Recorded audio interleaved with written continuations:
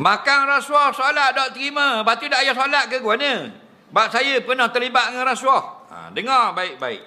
Kalau kamu terlibat dengan benda yang haram, selagi tidak ada nas yang mengatakan tidak diterima solat, maka solat kamu insya-Allah diterima selepas kamu bertaubat.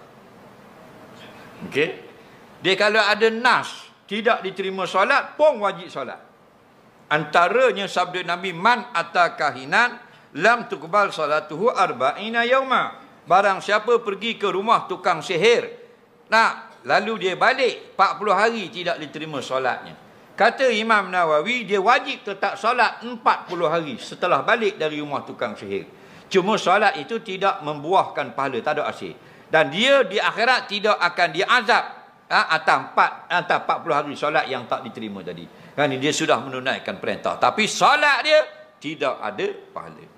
Itu maksudnya. Tetap wajib solat. Itu yang ada nas sebut dengan jelas. Qata'i mantuk lam tukbal salatuhu arba'in. Tidak diterima solatnya 40 hari. Faham? Dosa-dosa yang tak sebut begitu, maka bertaubat, solat. InsyaAllah Allah terima. Okey? Ha.